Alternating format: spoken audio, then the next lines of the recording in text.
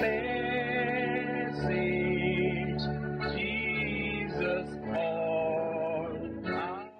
afternoon, everybody. You are about to watch Deeper Life Bible Church program, The Moment of Transformation. Today, by the grace of the Lord, we shall listen to our pastor, General Superintendent, Pastor W.F. Kumoyi. You are going to be blessed. It is my wish that you call your family to come and listen to you as our pastor is blessing you with his holiness message. Remain.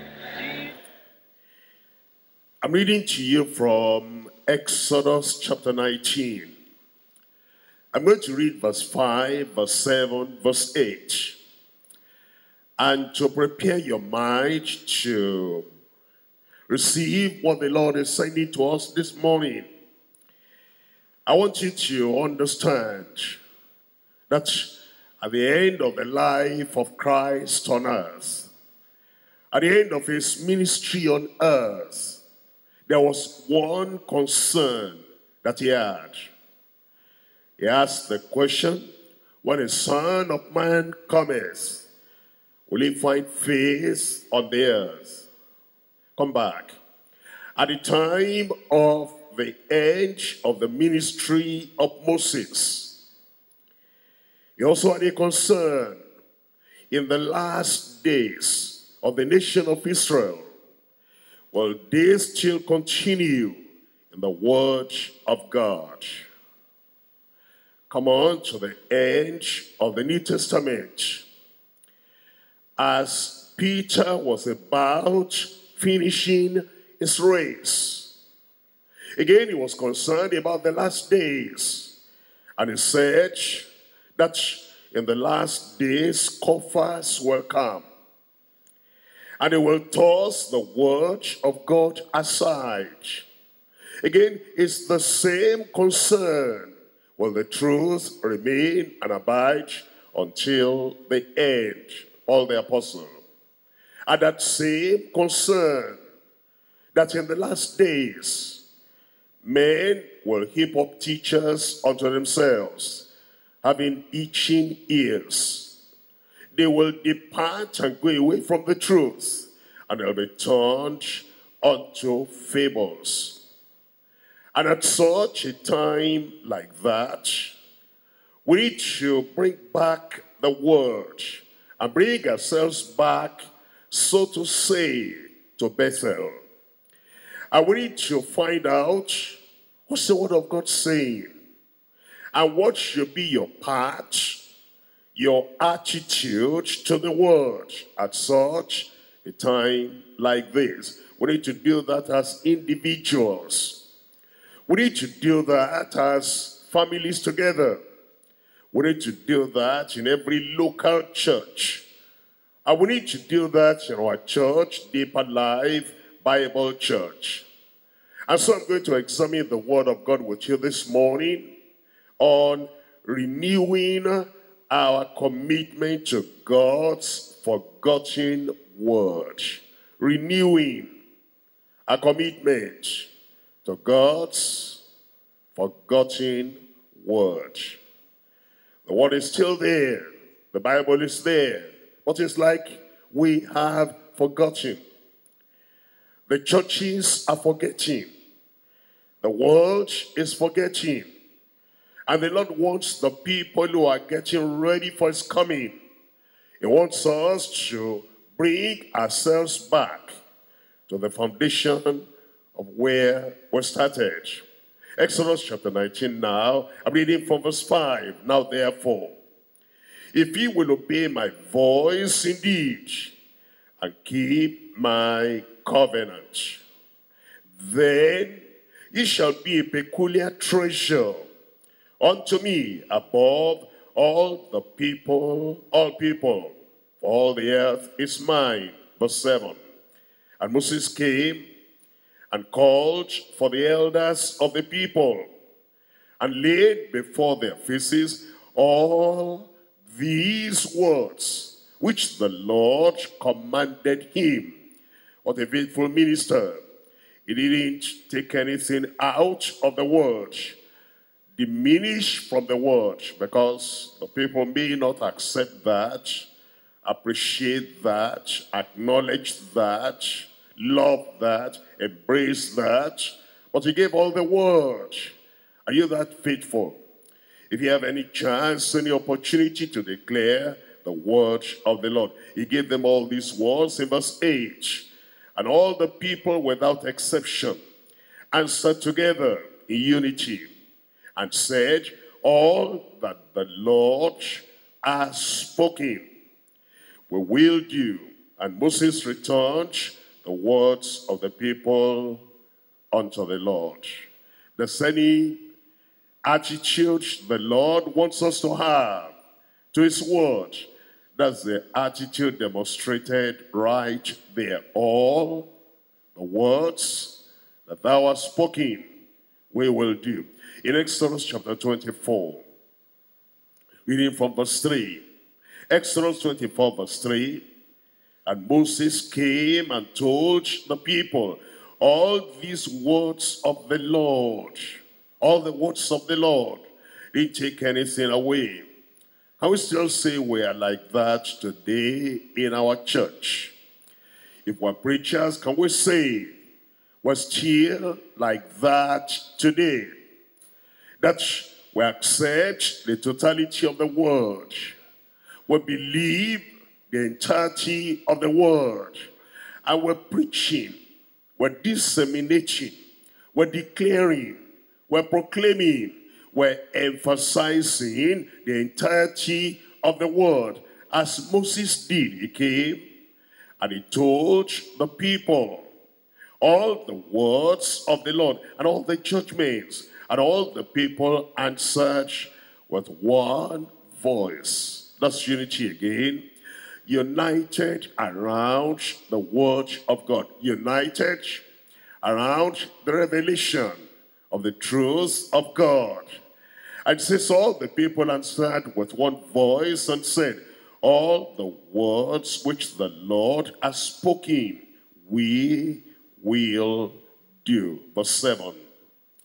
In verse 7, and he took the book of the covenant and he read in the audience of the people. And they said, all that the Lord has said, we will do and be obedient. Not just to hear, not just to learn, not just to preach it, but to do it and to be obedient. Second Kings chapter 23. In Second Kings chapter 23, here we find a good king there were not too many of them at that time. That brought the whole people together. And it came to a renewed commitment, a renewed covenant. Second Kings chapter 23 verse 1. And the king said, and they gathered unto him all the elders of Judah and of Jerusalem. There are times that elders and the church need to come together, not to socialize, not to celebrate, not just to fellowship, not just to interact, but to re-examine once again. Where do we stand? In relation to the word of God, how do we stand? In relation to still believing the word, standing on the word, be willing to be obedient to the word, that those leaders, overseers, leaders, pastors, preachers, key workers and decision makers in the body, they come together and it says, and the king went up unto the house of the Lord. And all the men of Judah and all the inhabitants of Jerusalem with him. And the priests and the prophets and all the people, both small and great. And he read in their ears all the words of the book of the covenant which was found in the house of the Lord. Verse 3. And the king stood by a pillar and made a covenant before the Lord to walk after the Lord and to keep his commandments and his testimonies and his statutes with all their heart and with all their soul to perform the words of this covenant that were written in this book. And all the people stood to the covenant. That's what he did. That's what we will do. That we will stand by this word. Whatever the church has, if we've lost the word, we've lost everything. Whatever position, whatever privilege, whatever riches, whatever popularity, whatever acceptance the church has in the world, and whatever value we may place on ourselves, worth we may place on ourselves, if we have lost the word, we have lost everything. It came to that time in the land of Israel, they lost the word. They lost everything. The glory was departed from the people. The truth fell. The truth became forgotten. And so they became nothing in the sight of the Lord. Isaiah chapter 59. I'm reading from verse 14. Isaiah chapter 59, verse 14. And judgment is turned away backward, and justice standeth afar off. For truth is falling in the street. Truth is falling in the street, and equity cannot enter. Yea, truth faileth, and he that departeth from evil maketh himself a prey.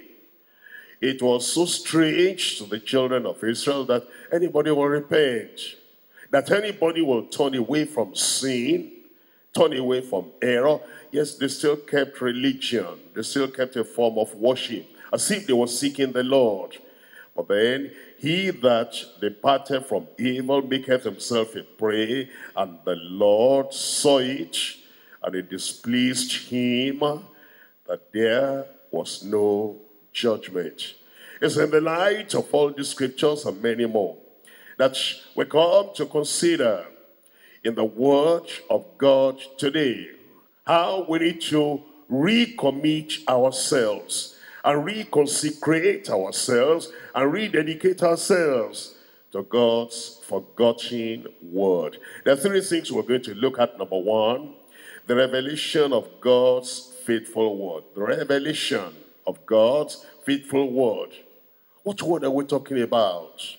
And what has God revealed in his word that we need to faithfully keep to? The revelation of God's faithful word. Number two, the result of God's forgotten word. When that word is forgotten, when we allow it to fall to the ground, when we just take the shell of worship, the shallowness of fellowship, and the sentimentality of the milk of human love, but the real substance and the real word of God that grants us life eternal, that grants us the life of Christ here on earth.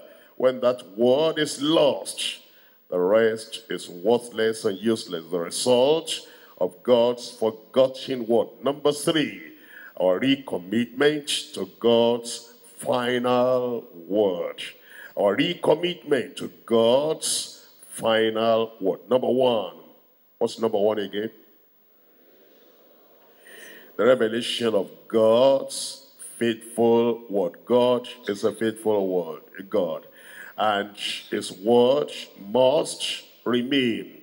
And that word remains forever. He doesn't uh, say this now and change after a few years, after 40 years, after 50 years, and say, well, I don't think I demand that of you, of anyone anymore. Titus chapter 1 verse 9.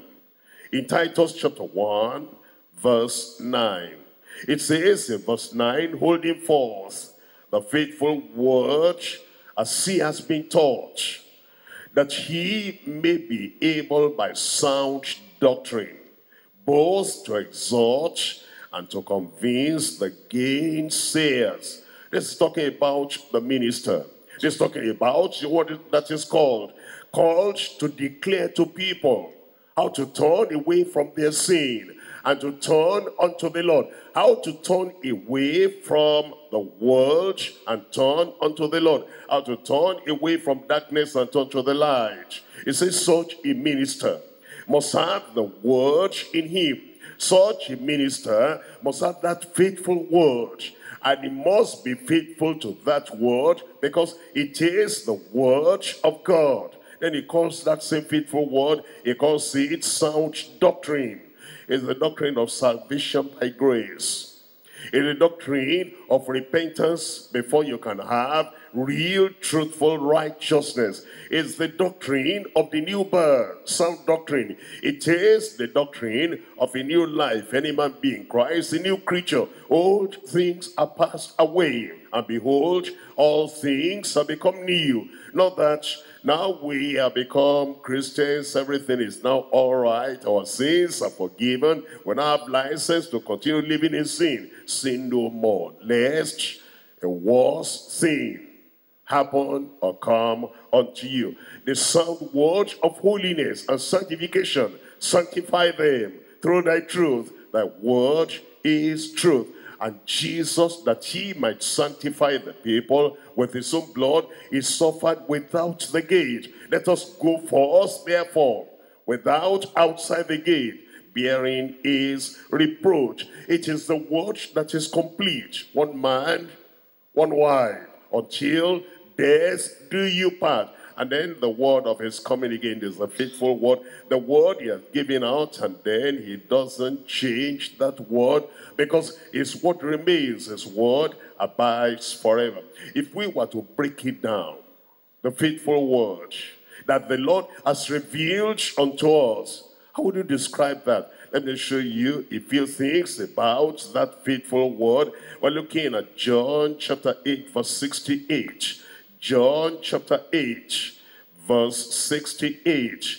It says in verse 68, Then Peter, Simon Peter answered, answered him, Lord, to whom shall we go? Thou hast the words of eternal life.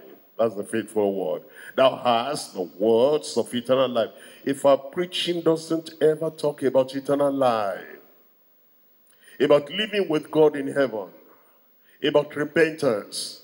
For God so loved the world that he gave his only begotten son, that whosoever believes in him shall not perish but have everlasting life, eternal life. If we never preach the word of eternal life, and how to have the eternal life, how to abide in that eternal life, we're not faithful to the faithful word, but is the word of life eternal. Acts of the Apostles chapter 13. And I'm reading from verse 26, Acts chapter 13, verse 26. Men and brethren, children of the stock of Abraham, and whosoever among you feareth God to you is the word of this salvation sent.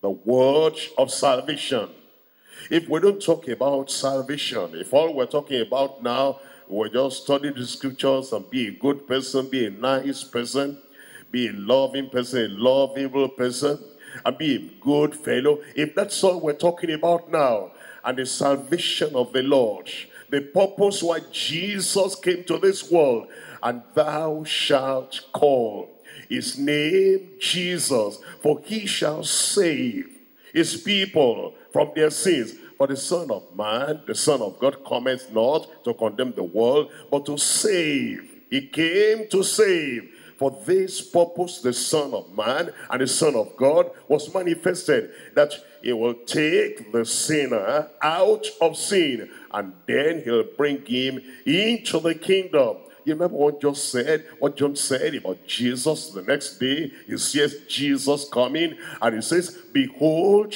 the Lamb of God, who taketh away the sin of the world. That's why he came, and that's why we preach this word of salvation. The question is, are you saved? Saved from sin? Are you saved? Saved from sinning? Are you saved? Are you saved from sale? Are you saved? Are you saved from all the practices of society? As that new life, eternal life, the word of salvation, has it taking root and effect in you? Because if you have not been saved, all else is worthless religion.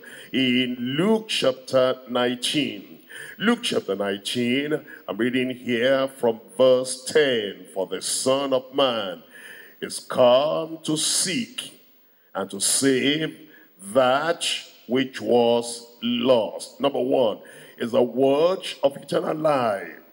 Number two is the word of salvation. Acts of the Apostles, I'm looking at verse chapter 20, verse 32. Acts of the Apostles, chapter 20. And we're reading from verse 32. Acts 20, 32. The revelation of God's faithful word. It says in 32, now brethren, I commend you to God and to the word of his grace. That's the faithful word. Is the word of his grace. But it's not um, the word of a graceless life. No. When it says the word of his grace, what does that word of his grace, what does it bring? What does it, do? What does it achieve? in our lives. What kind of life does that word of grace grant unto you? Grant unto me. Titus chapter 2. I'm reading from verse 11. When you hear that word of grace, it transforms your life. It changes your life. It turns you around. That's what you were, you are no more. The darkness in your life in the past, that darkness is no more there. There's grace. The grace that transforms. The grace that changes you. And the grace that makes you triumphant over the temptations of the past. Of the past. In uh, Titus chapter 2 verse 11, for the grace of God that bringeth salvation. Grace does not bring more sin into our lives. It brings salvation. Grace does not bring degradation into our lives. It brings salvation. Grace does not bring license and liberty to keep on sinning. Grace brings salvation. And the word of his grace, that's a faithful word, is the word of eternal life. It is the word of salvation and it is the word of his grace. For the grace of God that bringeth salvation has appeared unto all men teaching us that denying of godliness and worldly lusts, we should live, how do we live? Frivolously. How do we live? Carelessly. You know, there are people that say, well, I'm living in grace. And they're frivolous and careless and carefree. Their lives, there's no control. There's no personal self-discipline. You say, my friend, but you say you're born again. Hey, yes, I'm born again, and that's what makes me free. I'm at liberty to do and say anything. You miss the point. It teaches us that denying ungodliness and worldly laws, we should live soberly, righteously, and godly when in this present world, looking for, looking for that blessed hope and the glorious appearing of the great God and our Savior, Jesus Christ, who gave himself for us. Why? that he might redeem us from some of our iniquities. From what? From all iniquity. You better believe it that when you are born again, he doesn't uh, expect you to still keep some of your old sins. It changes your life. It transforms your life. It makes you a totally new creature. Because that's the salvation. If it's your own salvation you produce by yourself, you'll conquer some sins and the other sins will remain. If it is salvation of the Lord that he gave, he gives you that salvation and he takes the power of sin. He breaks the power of sin away from your life. And he says, he gave himself that he might redeem us from all iniquity and to purify. That's in the Bible. Purify. There's purity in the Bible. There is sanctification in the Bible. There is holiness in the Bible. There is this purification of your heart, purification of your mind, purification of your thoughts, to purify unto himself a peculiar people, zealous of good works. I pray it will happen. And I pray that for those who have got it, it will be permanent in Jesus' name.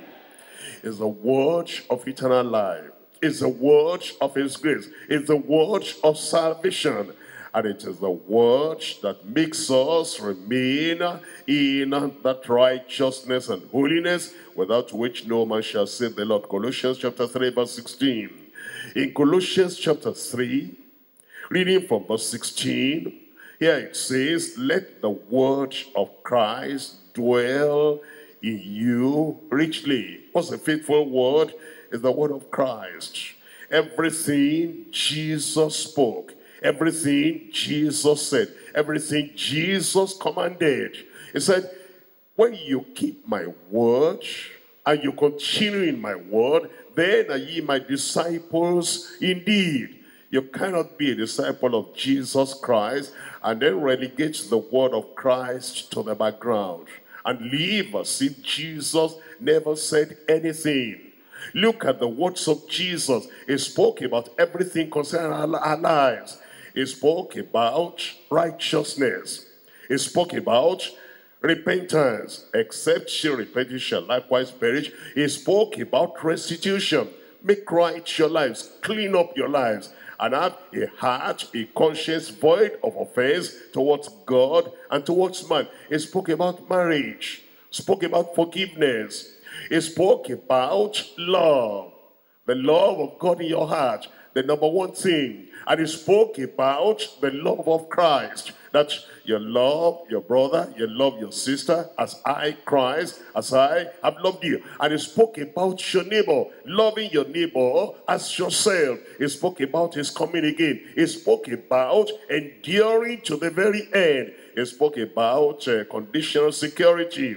And he says over here, let the words of Christ abide in you and dwell in you and remain in you and function within you. Let the word of Christ dwell in you richly in all wisdom, not the wisdom of the world, not the wisdom that teaches you how to commit sin and hide it very well, but in all the wisdom of God, teaching and admonishing one another in psalms and hymns and spiritual songs and singing with grace in your heart to the Lord. And whatsoever ye do, this result, this is the consequence, and this is the outcome, this is the fruit, this is the product of that word of Christ abiding in you. And whatsoever ye do in word or deed, do all in the name of the Lord Jesus, giving thanks to God and the Father by him. Look at verse 23. When that word of God abides in you, whatsoever ye do, do it heartily with all your heart as to the Lord and not unto men. It tells us in Matthew chapter 4, verse 4. Matthew chapter 4, verse 4. How the word of God, this word revealed word, faithful word, is regulate all our lives, affect all our lives, influence all our lives, infiltrate all our lives, and is to, what to live by that what it says in verse 4 Matthew chapter 4. And he answered and said unto, and said, It is written, Man shall not live by bread alone, but by every word. You notice that? That's the word of Jesus by every word. Every word that proceedeth out of the mouth of God. Why don't you subtract and add and just do whatever we want with the word of God? What to live by every word that proceeds out of the mouth of the Lord. The revelation of God's faithful word. Unfortunately, that word has been forgotten in many circles.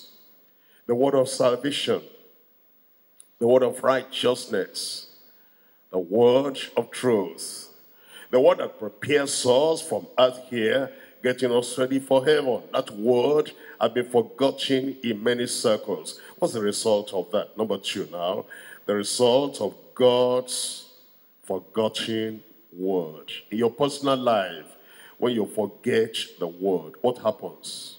Your family, when you forget the word, uh, just live by whatever comes to your mind, how you feel, how you think, and you just act by what you see in the papers, what they watch over the television, what they hear over the radio. You just act what you see your neighbors doing because you've forgotten the word. And you have taken the word, you have relegated the word to the background.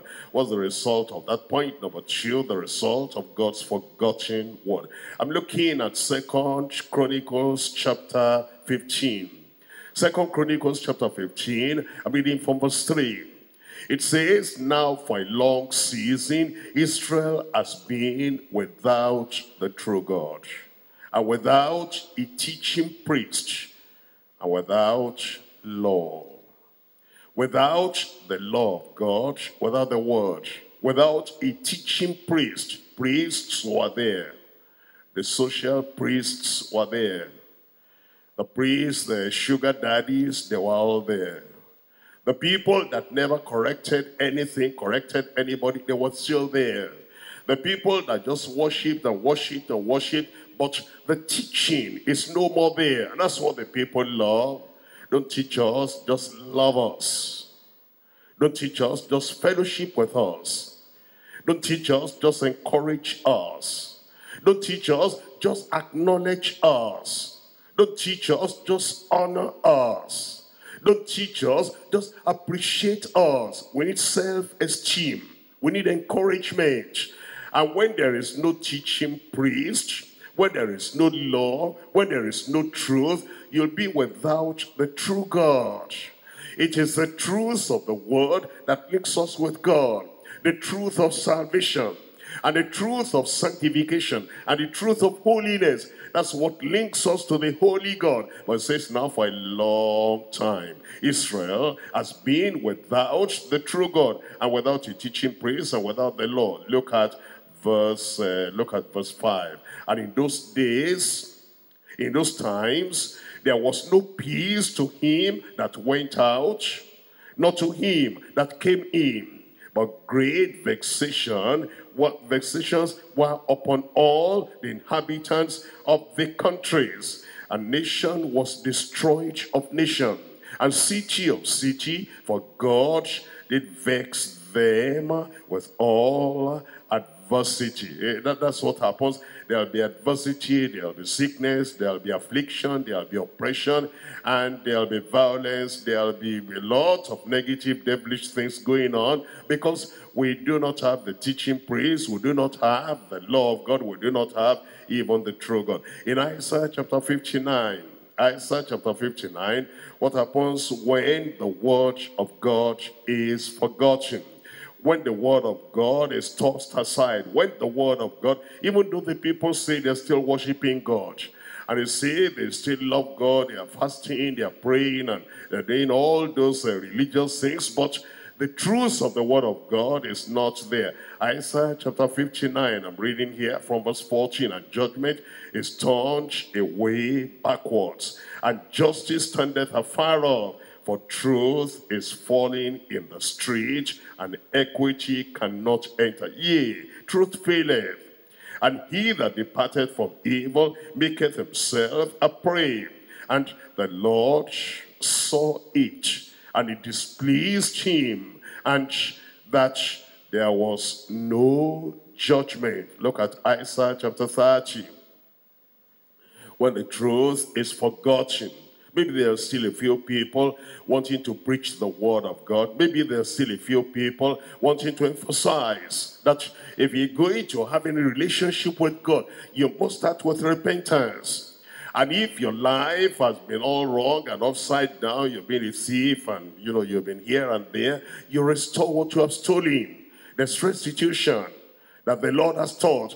You become right with God. You become right with man. And maybe there's still a few people able to preach the word of God and they say it convincingly. But look at the attitude of the people when that truth is forgotten and nobody wants that truth back. Again, I'm reading from verse 9 of Isaiah chapter 30. Isaiah chapter 30 verse 9. That this is a rebellious people, lying children, children that will not hear the law of the Lord. There, are people that they, they love church, but they don't love the word. They love worship, they don't love the word. They love whatever it is you are doing in the assembly, in the fellowship, in whatever it is. But as to the word, they will not hear the law of the Lord. They can dance for hours. They're worshiping the Lord. But when the word of God comes, if it calls them to correction, if it calls them to holiness, if it challenges them and challenges their lives and tells them to prepare for heaven, that we're not going to be here forever, all that they don't want. But why will you come to a church like this and don't want the word of God? And you don't want to measure your life and cleanse your life with the word of the Lord. The reason why you came is that you understand this is the gateway to heaven. And if this is the gateway to heaven, at the gate you must be cleansed. So check up yourself, you check up your life and see, am I ready? Am I not ready? But it says over here, these are children that will not hear the law of the Lord. See what they say in verse 10. Which say to the seer, see not, and to the prophet, prophesy not unto us right things, speak unto us smooth things, prophesy deceived.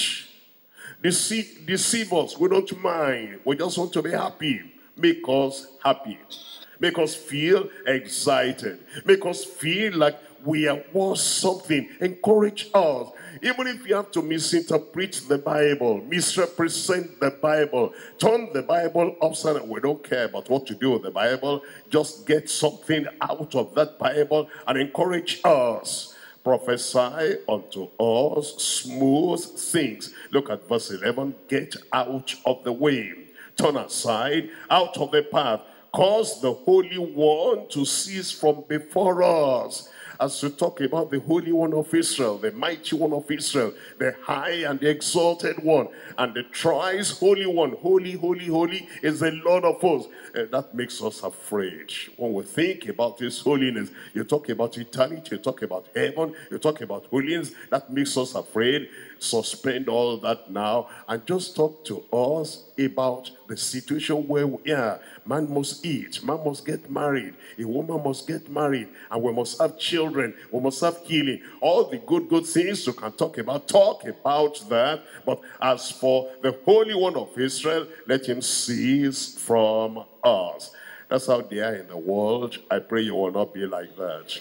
That's how many of the churches are. They call them Pentecostal churches, charismatic churches, prosperous churches, successful churches, winning churches, whatever they are.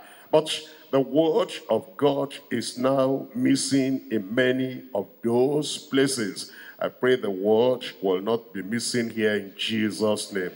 Hosea chapter 4. Hosea chapter 4. You'll see that it even happened to the children of Israel. They forgot the word of God. And what was the result? What was the result when they forgot the word of God? Hosea chapter 4, we're reading from verse, we're reading from verse 6. Hosea chapter 4, verse 6, my people are destroyed for lack of knowledge when you lack the knowledge of repentance, the knowledge of restitution, the knowledge of righteousness, the righteousness demanded by the King of Kings and the Lord of Lords, when you lack the knowledge of sanctification and holiness, whereby it takes your evil nature, your Adamic nature, and your uproots that thing and it says, I want you to be like Christ.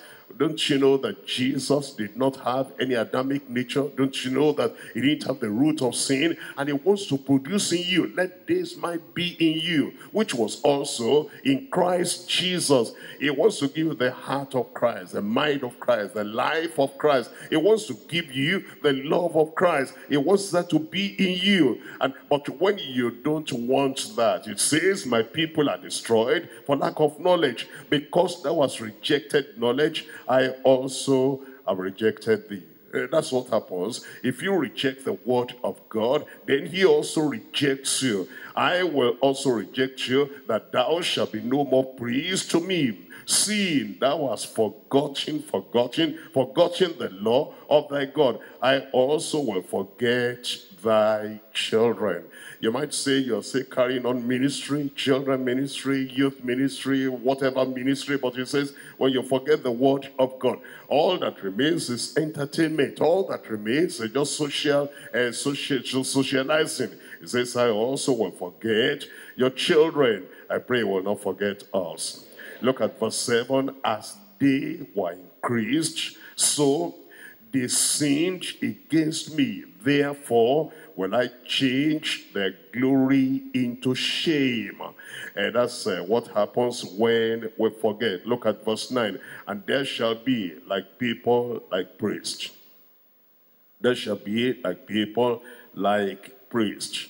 The priest is sinful. The people are sinful. The preacher is a backslider. The people are backsliding.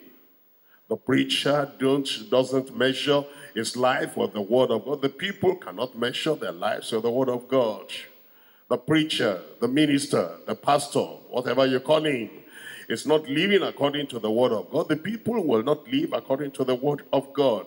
And the preacher is going to perish, is going to hell because it's not born again, it's not retaining that holiness without which no man shall say the Lord the preacher is going to hell, his people are going to hell. It says in verse 9, therefore shall there, there shall be like people like priests, and I will punish them for their ways and reward them for their doings. Look at verse 13. In verse 13 it says, they sacrifice upon the tops of the mountains and burn incense upon the hills under oaks and and the poplars and the elms. And then it says, because the shadow thereof is good. Therefore, your daughters shall commit order and uh, your spouses shall commit adultery. Eh, that's what takes over their lives. As you think, you know, we're going to church, we're going to, what kind of church are you going? You find adultery rampant there, fornication rampant there.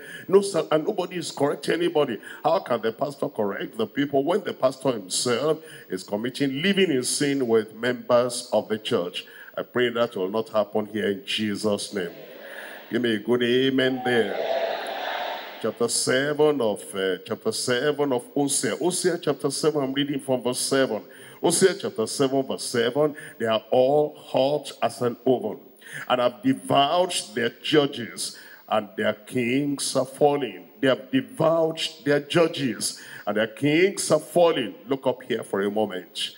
Why is it that, you know, our own pastors in our local churches, why are they afraid to correct anybody now? Oh, they corrected people before and they say, I burnt my hands. I, I corrected that person and I wanted him to get to heaven. I said, my friend, this one you're doing will land you in hellfire. Ah, You talk to me, you think that I'm just like ordinary member, and then you begin to see some things, maybe in the night or maybe in the day, oppression and attack and evil, and then some of the friends gang together and they're attacking you because you wanted the man to get to heaven, you wanted the lady to get to heaven, and you say, I told you that so that if Jesus will come anytime, you will not perish. Leave me alone. Why are you doing that? And because, you know, you see that one is attacked and that one is oppressed and that one is, uh, you know, whatever. And uh, so because of that kind of suffering, the rest of the pastors said, uh, uh, I'm not going to try it again. I know Pastor so-and-so, where he see now? His business is wrecked. His family is scattered and things are bad for him. And it began because he opened his mouth and corrected somebody on his way to hell. If they want to perish, let them perish. I will not correct them anymore. They devour their judges. They devour their pastors. They oppress. They destroy their pastors and their leaders. And those leaders don't have any heart anymore, any confidence anymore any heart to correct anybody. But I pray that the Lord will help you and make you repent if you are like that. I said repent if you are like that. It's like you're in the aeroplane and, you know, something got in your head and you're going to take the pilot and you throw him outside the window. You're going to die yourself once you throw your pilot out. It's like you're riding a car and that car is at short top speed. And then you go to the driver there and then you hurt him and you do something to him that makes him not to be in control of that car anymore. When the accident happens to yourself, you will die. And if you, you know, send your pastor, I mean your local pastor, you send him packing, is now afraid, he's timid, he cannot talk, because uh, he knows that if he talks and tells you to repent and tells to seek salvation and tells the backslider to come back and seek the face of the Lord, he knows he's going to suffer for it. Not only suffer in months, or he's going to suffer for years. And he doesn't understand that that suffering is nothing in comparison with the suffering in hellfire forever and ever. Therefore, he keeps quiet. If your local pastor keeps quiet, because he's afraid of you. And you remain a backslider. You have hurt yourself. You have destroyed yourself. I pray God will give you understanding. They are all hot as an oven and have devoured their judges and all their kings are falling. There is none among them that calleth unto me Ephraim. He has mixed himself among the people. Ephraim is a cake not turned. Strangers have devoured his strength, and he knoweth it not. Yea, gray ears are here and there upon him. Yea, yet he knoweth it not. I pray you will not be like this. It says strangers have devoured their strength, and yet they do not understand and are still proud. And let us see a result on them. We're looking at chapter 8, verse 3. Chapter 8, verse 3. Um, it says, Israel has cast off the thing that is good. What will happen? Say it aloud. I'm going to read that part again. You read your own part. Israel has cast off the thing that is good the enemy shall pursue him. What does that mean? Israel has cast off the thing that is good. In the days of Moses, you remember? If anybody, even ordinarily, ordinarily gathering sticks on the Sabbath day, Moses will deal with that. And you remember the time of Moses, if anybody will go against the word of the Lord, Moses was firm. Moses was very clear. Now Moses is gone and Joshua took over. At the time of Joshua, there was still a bit of that. Achan did what he did. That when a goodly Babylonish garment that came into the camp and judgment came upon the land of Israel. And then Joshua said, why has this happened? And God said, get up on your feet. On your feet, there is sin in the camp. And as long as their constant sin is there, I will not be with you. But Joshua was able to deal with that.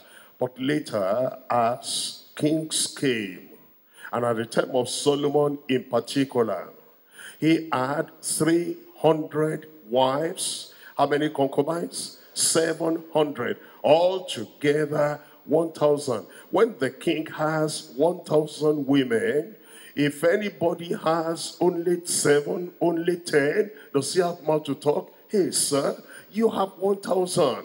He only has 12. He only has 15. As the people, the leadership, as they were not living right anymore, they can't stop the sin that is good. The law of God was no more there. Tell me, if the pastor has girlfriend in the church, in your local church, and everybody knows, we know that anytime you want to see pastor, so and so, they call her sister, but you know, she's just a Jezebel. And so and so is always in his office. If the pastor is keeping that girlfriend among the choir, girlfriend over there, girlfriend over there, if uh, somebody is backsliding and is uh, having whatever affairs, can the pastor talk? They cast off the thing that is good.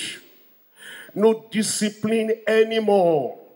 They cannot talk. If the person that is a worker is stealing money out of the bag as we count, and everybody knows that what work is he doing? is just doing a manual work. I see riding a car like this, and people are, don't you know? Don't you know? They count at the altar. And because they count at the altar, that's how they're having that. And he knows that everybody knows. And then you put him there as a leader. What can he say? What can he do? How can he stand? How can he help other people to know that this is the way to hell? He cannot talk because he's cast up the thing that is good and the enemy shall pursue him. And you know when the enemy pursues him you pray you pray you pray nothing will happen I pray that God will deliver us in Jesus' name. And the way back to God is repentance, the way of repentance, and the way of righteousness. Because if we remain in that condition, I'm deeper life, I'm deeper life. Ah, you turn it to a song. You're deeper life. Where is the deepness in your life? How deep is your salvation?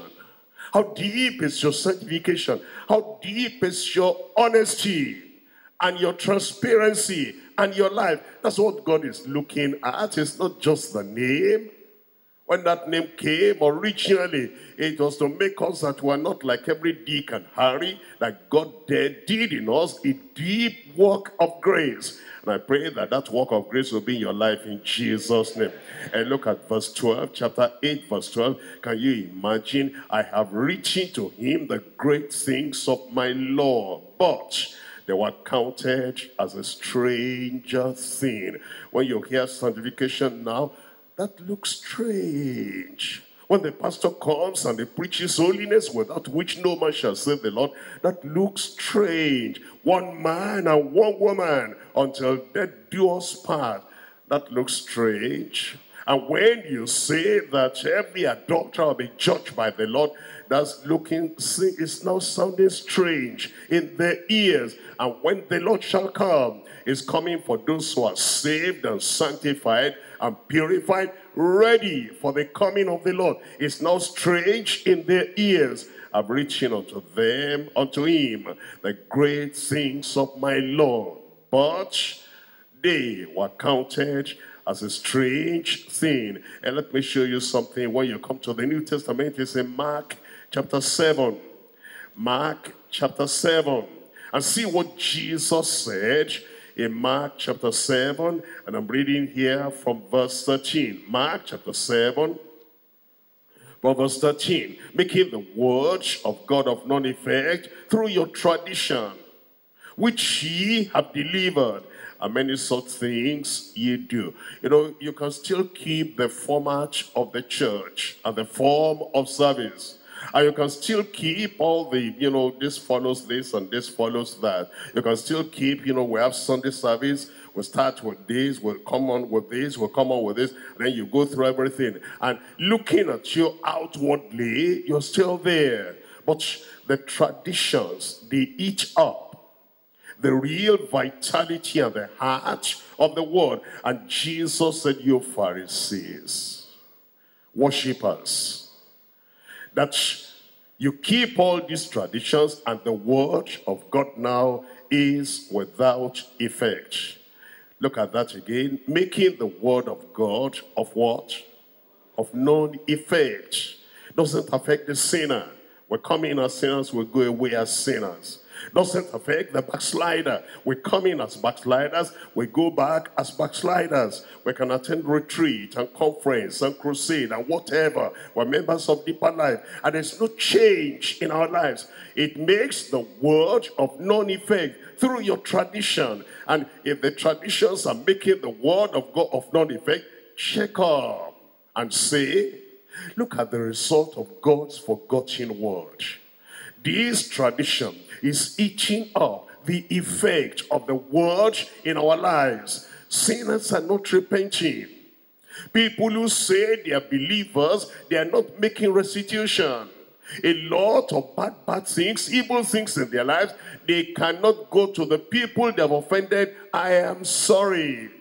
Violence, wickedness, fighting, discord, disagreement, conflict in their lives and in their families, and they're still coming to church. They make the word of non-effect by tradition. Is that the only way to make the word of God of non-effect? Look at Second Corinthians chapter 2. I'm reading from verse 17. Second Corinthians, I'm reading from chapter 2, verse 17. You make the word of non-effect in another way here now. In verse 17 of uh, 2 Corinthians chapter 2, it says, But we are not as many that corrupt the word of God. We're not as many that corrupt the word of God.